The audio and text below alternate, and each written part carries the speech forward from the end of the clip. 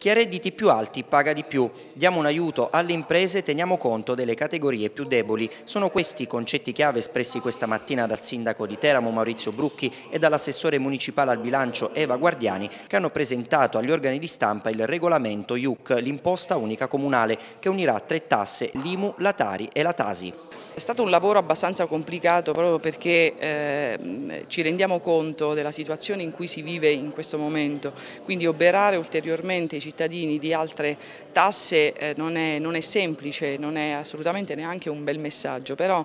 eh, il governo eh, non eh, eroga più eh, ai comuni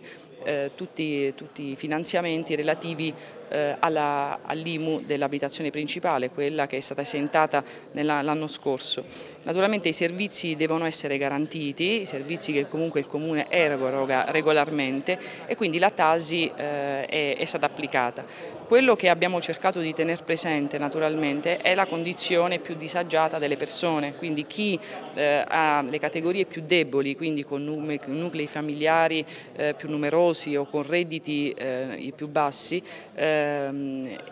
naturalmente tenendo conto anche della rendita catastale della casa, pagheranno eh, con delle detrazioni eh, importanti.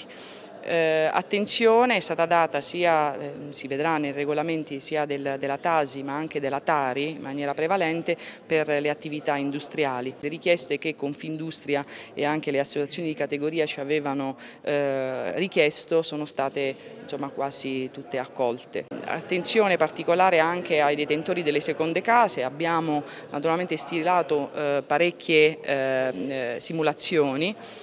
Naturalmente mi sento eh, di, di, di, dare sin da ora eh, un ringraziamento a, agli uffici perché siccome abbiamo fatto un regolamento abbastanza eh, complicato, complesso, anche la modulistica che dovrà essere messa a disposizione dei cittadini sarà, ehm, sarà complessa da elaborare ma naturalmente sperando che sia la più semplice, di semplice comprensione per i cittadini che naturalmente si troveranno dopo a, a redigerli a, per ottenere gli sgravi dovuti.